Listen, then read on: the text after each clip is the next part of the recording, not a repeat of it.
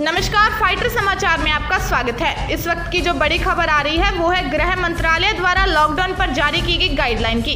केंद्र सरकार ने लॉकडाउन के दूसरे पार्ट को लेकर गाइडलाइन जारी कर दी है। इसके तहत सार्वजनिक जगहों पर मास्क ज़रूरी होगा। सरकार ने किसानों को कुछ रियायतें भी दी हैं, साथ ही कुछ उद्योगों को भी छूट दी गई है। एस में काम शुरू हो सकता है। ई कॉमर्स कुरियर सेवाओं को राहत दी गई है। ज़रूरी चीज़ों को बनाने वाले कारखाने भी खुल सकेंगे। सरकार ने कहा कि आवश्यक सामानों, दवाओं का उत्पादन जारी रहेगा। कुछ शर्तों के साथ ट्रकों को आने जाने की इजाज़त दी गई है। लॉकडाउन में फंसे लोगों के लिए होटल लॉज खुले रहेंगे। बिजली mechanic, plumber, motor mechanic, carpenter को इजाज़त दी गई है। पचास फ़ीसदी कर्मचारियों के साथ आईटी कंपनियों को काम की मंजूरी दी गई है। ज़रूरी सेवाओं के तहत मेडिकल सेवाओं को लॉकडाउन में छूट मिली है। अस्पताल, क्लिनिक के साथ दवाई की दुकानें खुली रहेंगी।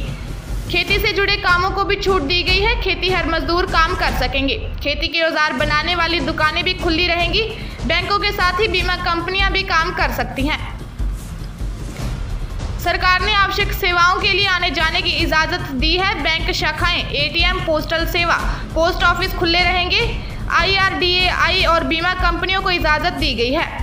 एपीएमसी के संचालित सभी मंडियाँ खुली रहेंगी। मनरेगा के तहत काम को इजाज़त दी गई।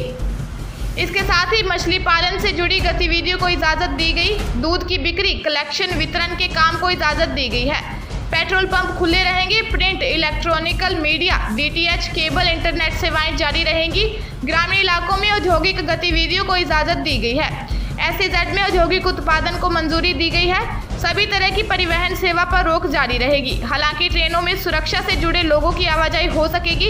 इसके अलावा घरेलू और अंतर्राष्ट्रीय उड़ान सेवाओं पर रोक जारी रहेगी। Bus, rail, metro auto rickshaw taxi बंद रहेंगे। स्कूल, शिक्षण संस्थान, कोचिंग संस्थान बंद रहेंगे। औद्योगिक गतिविधियों पर रोक जारी रहेगी। ताज़ा तरीन खबरों के लिए फाइटर न्यूज़ को सब्सक्राइब करें और बेल आइकन को प्रेस करें ताकि नई न्यूज़ अपडेट होते ही आपके फ़ोन की घंटी बज जाए। Once again